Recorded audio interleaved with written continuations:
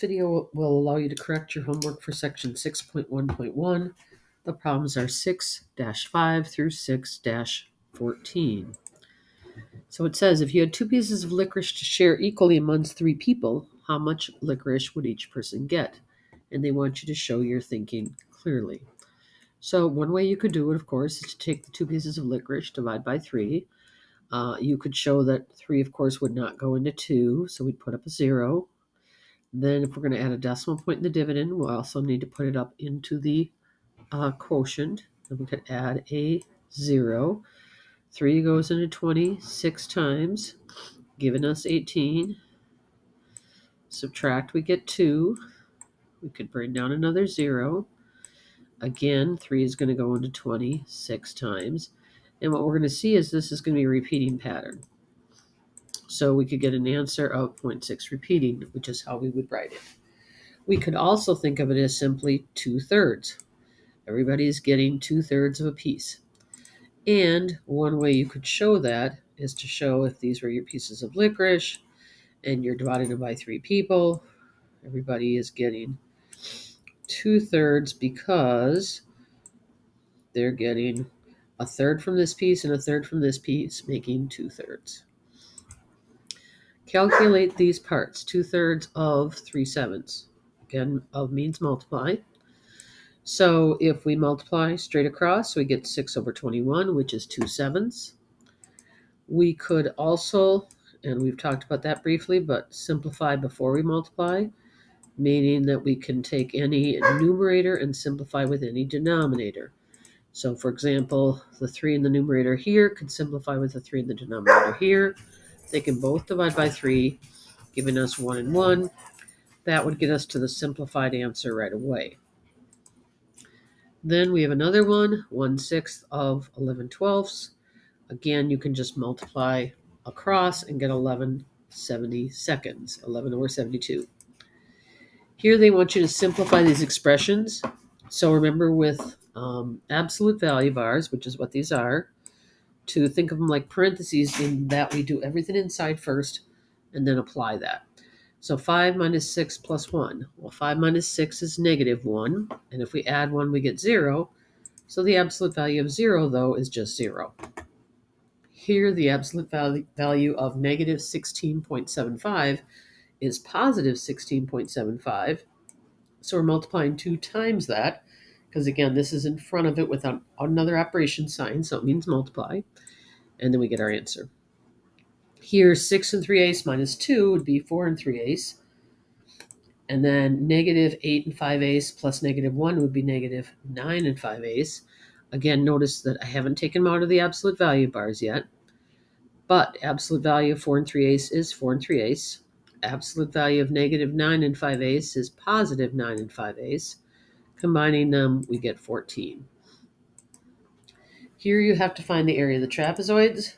Make sure you're writing down your formula. So for an area of a trapezoid, it's base 1 plus base 2, or this could be base 1 and this could be base 2. Then you're going to divide by 2 and then multiply by your perpendicular height. So that's where I got these from. And then you should show your answer. Same thing here. This could be your base 1 and this your base 2 or the other way around.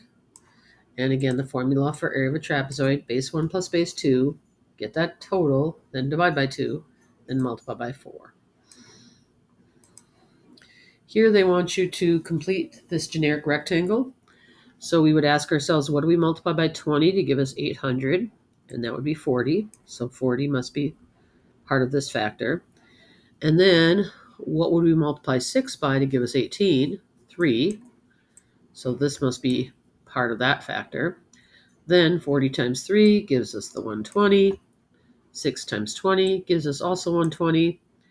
And then we need to show we had 46 times 23, which equaled 800 plus 120 plus 120 plus 18, which is this.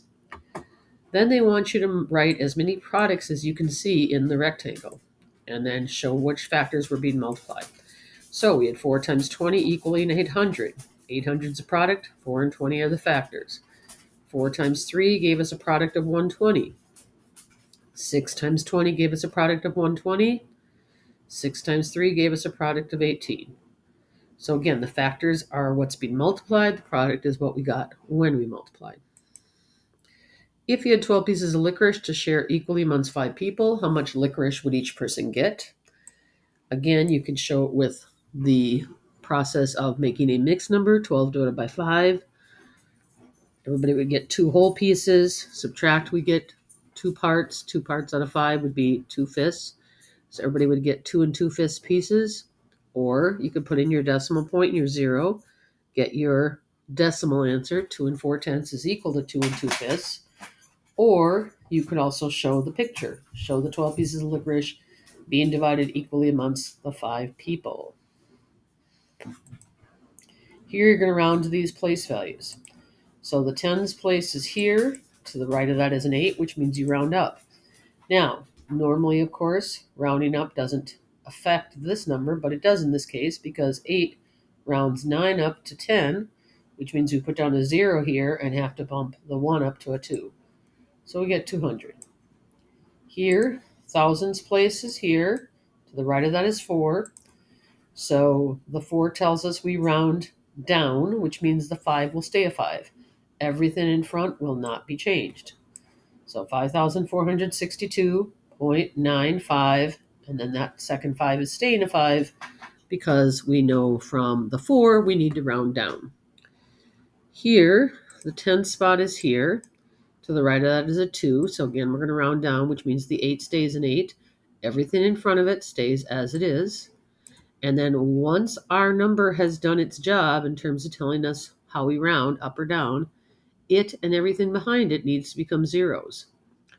Now, they can become zeros, or in this case, since they're behind a decimal point, they can actually just drop off. So that occurred up in number one, and it occurs here in the third one. And then here, the ones place to the right of that is a 3.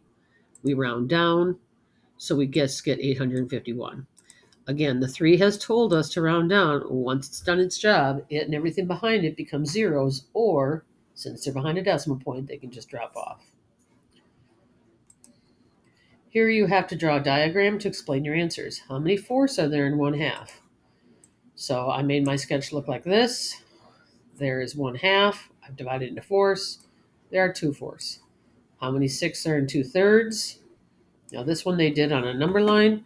You would not have to, but this is one sixth, half of a third. This is one sixth.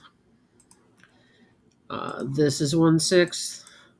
And trying to get different colors here, this is one sixth. Oops, that was not a different color, however. so a total of four sets of six in two thirds. Again, you could do a sketch on a rectangle. Uh, you could do it on a circle. This is just one way to do it. How many are there in 6 eighths?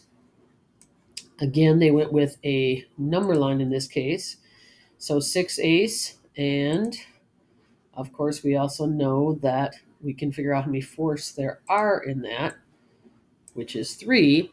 Another thing to bear in mind, though, is it should make sense that 6 eighths equals the same as 3 fourths.